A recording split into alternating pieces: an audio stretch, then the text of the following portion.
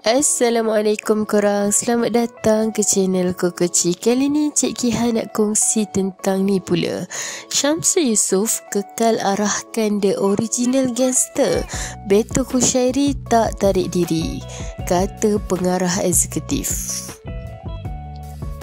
Sebelum ini ada desas-desus mengatakan bahawa filem The Original Gangster yang ini telah pun memulakan proses penggambaran bakal bertukar pengarah filem.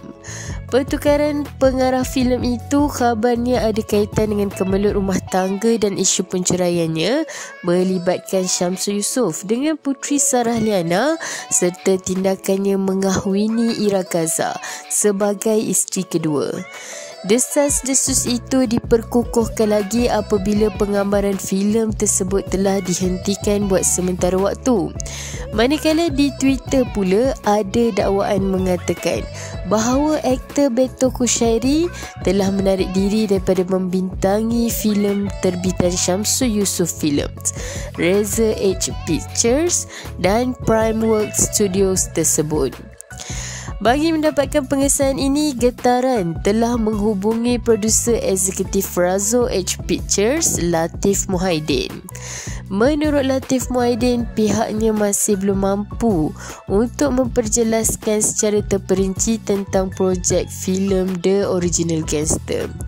Kami masih sedang memuktamadkan beberapa perkara secara terperinci. Tapi sudah tentu Syamsu Yusof yang mengarahkan filem ini. Bahkan Beto juga tidak menarik diri. Tunggu bulan ni saya akan cuba berkongsi maklumat. Kita pun baru hendak buat persiapan untuk menyambung semula penggambaran, katanya. The Original Gangster adalah filem aksi jenayah arahan Syamsul Yusof yang dimintangi oleh ramai pelakon hebat. Selain Beto Kushairi, filem ini turut dijayakan oleh Shanas Ahmad, Hairul Azrin, Datuk Roshamno, Yayan Nurian, Sahizi Sam, Pablo Amirul, Nasti dan Umi Nazira. The Original Gangster dijadualkan untuk tayangan pada tahun 2024. Jangan lupa like, share dan subscribe. Kejap-kejap. Nak lihat apa seterusnya? Subscribe dulu, okey?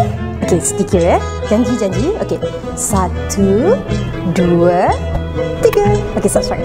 Terima kasih. Dengan sumpahan mulut aku. Diulangi artikel ini diambil dari artikel berkenaan. Sebagai penggemar media hiburan, harus berhati-hati dalam memilih sesuatu isu. Kami tidak bertanggungjawab kerana pihak kami tidak tahu kesahihan berita yang dikeluarkan. Jangan meletakkan kepercayaan penuh dan membuat spekulasi atas perkara yang kita tidak pasti. Menghayati hiburan boleh, jangan sampai kita melibatkan diri dengan fitnah dan buka aib mereka.